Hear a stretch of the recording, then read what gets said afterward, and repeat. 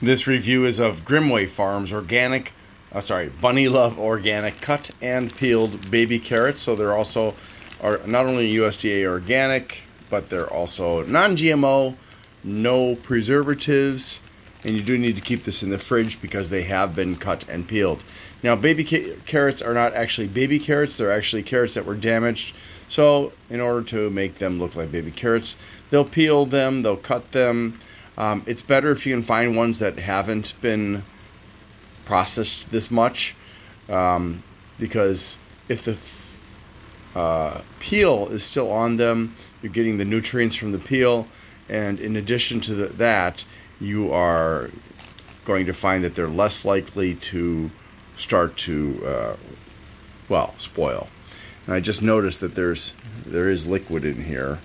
Not happy about that. I'm gonna have to drain that out. This is or, certified organic by CCOF, and the bag is leaking. Yay! Nutrition facts and obviously the ingredients: organic carrots. All right, so nutrition facts: three ounces or 85 grams of this, and there are 11 servings in this container approximately. 30 calories, no fat or cholesterol, 65 milligrams of sodium. I don't know where that's coming from. I don't know if that's naturally occurring or what. 7 grams of carbs, of which 3 are dietary fiber and 4 are sugars, uh, but they're not added. And there's less than a gram of protein. So you're getting a little bit of protein, but carrots apparently don't contain a lot of protein. Protein comes from plants, not from animals. Okay, so that's about it as far as that is concerned. Let me go ahead and open this up and grab a carrot and we'll have a taste.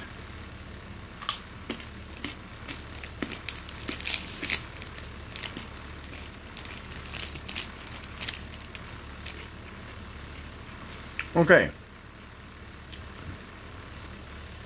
Carrots raised in different regions are going to have slightly different flavors. This one has the natural sweetness you should expect from a good carrot, raised in a good um, in good soil. It doesn't have that weird kind of off soapy-ish flavor um, that is more you're much more likely to find with non-organic carrots than you are with organic ones. Although some organic ones will have that flavor because of the soil.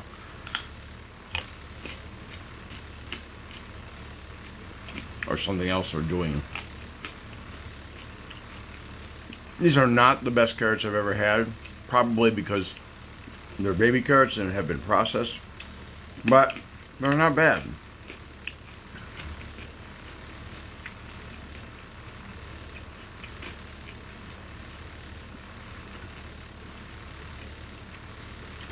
I'll give them an 8.